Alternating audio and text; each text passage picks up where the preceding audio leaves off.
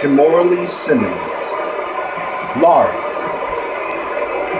Red Room. This will surely be a true mano test. It's amazing. For more than 50 years, men and women have entered this ring all in the name of greatness to see who is truly the best. I think when it's all said and done, we'll be talking about this match for a long time. Yeah, I know the competitors are glad it's finally go time. Let's do this. And the party has officially begun. But hey, all I know is that we should sit back and enjoy another WWE show is underway.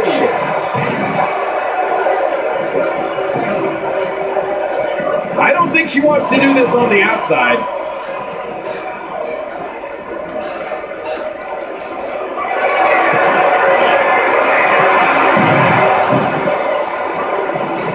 A high risk maneuver and works from that top turnbuckle. Look out below.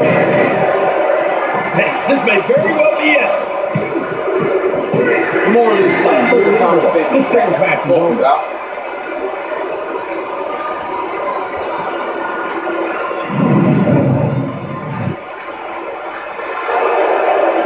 Here's your winner, Kimora Lee keep up contest. with We definitely just witnessed one for the ages. I'll remember that one for a long time. Few things are more rewarding than the feeling of keeping your opponent's shoulders down for the three count. Buffalo is still buzzing over the outcome of this match.